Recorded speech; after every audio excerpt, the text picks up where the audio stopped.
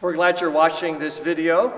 Pastor Lessing, Pastor Sean here. We want to update you on a couple events coming your way here at St. Michael. We're thankful that our Board of Elders, our leadership team, our church council came together uh, with a document that was sent out on May 8th. So hopefully you have that. Uh, Pastor Sean, what are some of the highlights uh, in this uh, reopening plan here at St. Michael? Yeah, for the time being, uh, we are continuing to live stream our Bible study and our worship, our 1045 worship. Starting on June uh, 13th, 14th, and 15th, we're actually going to open up the church a little bit more. With the governor's uh, recommendations and everything, we have kind of said, well, we're looking forward to seeing people in person. And so we're taking steps to be able to let people in so we can worship 250 people in our sanctuary and, and, and other places in the building. And so we're looking forward that time where we can come together and building on that with the governor's plan as we go forward. So we look forward to June 13th, 14th, and 15th as we look at our next phase of what's happening. Very much so. And, and as you all know, the live streaming obviously will continue indefinitely. Uh, we are going to have adult Bible class throughout the summer uh, so people can be edified through the study of the book of Jeremiah.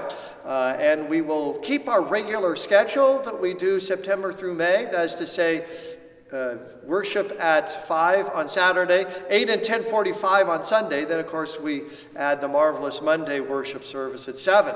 Before all of that, though, we've got confirmation. Yes, we do. Yeah, we are celebrating our eighth grade confirmands.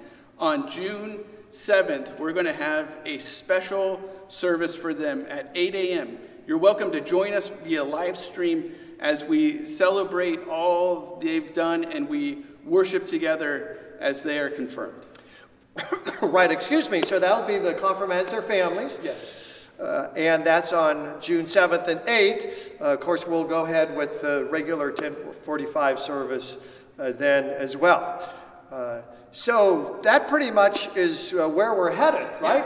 Yeah. yeah. And yeah. then we are also looking at blessing the world around us in, in, a very unique way. Can you tell us a little bit about that? Sure, sure. So, again, this is something your church leadership team has come up with. The elders, church council, you can take a look at the May newsletter, St. Michael Soars, uh, an opportunity for us to be generous uh, for people locally, nationally, and internationally. Well, check out the newsletter and stay tuned as we continue to open up and as we look at the phases that we can get all of us back together. Thank you for joining us.